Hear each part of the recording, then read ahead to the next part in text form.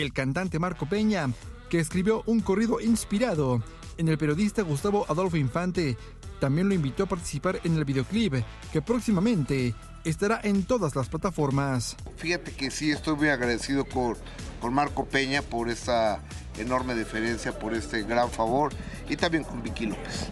Eh, estoy seguro que Vicky López algo tuvo que ver. No fue difícil escribir este tema, se lo escribí el día que me invitó el señor a- al programa, pues ahí interpretamos algo, un- eh, algo improvisado en el cual pues se realizó, la, la- se terminó, le hice tres propuestas y la propuesta también chicos que no nada más es este tema, sigue la continuación de cómo es detrás de cámaras el señor Gustavo Adolfo Infante. Ahora vamos a hablar de lo que es el terror de todos los artistas.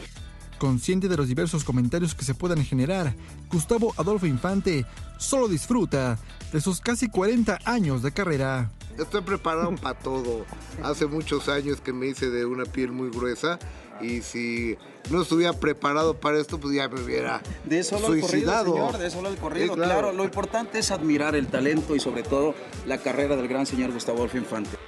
Alida Núñez será una de las modelos en el video y hay una posibilidad de ver una escena de beso entre ella y el periodista. Fíjate que según el guion está por verse. Eso el director Ándale. lo tiene que decidir. ¿En serio?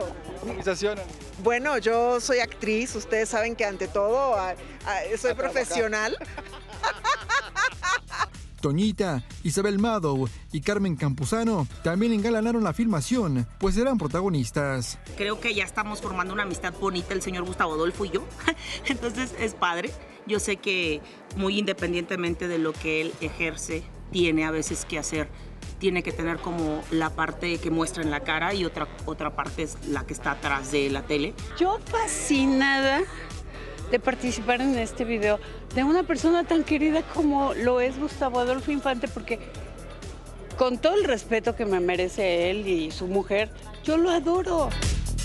Todos los días sale el sol. Floyo Machuca. Ah, caray, felicidades, Gus. Oye, los saludo acá desde un tobogán que armamos aquí afuera del foro. Y lo hicimos tan solo para decirles que nadie se desliza mejor frente a las corrientes de la información que el Excelsior. Y ahora vamos a toda velocidad a echarnos pues, un clavado a las noticias del momento con mi cuate Enrique Villanueva picando la noticia. ¡Órale, Enrique! Mi querido Manolito, muchas gracias por ilustrarnos siempre. Yo no sabía cómo se apareaban las ballenas. Ahora, ahora ya lo sé. Pero bueno, vámonos con las noticias porque tenemos mucho, mucho, mucho que platicar.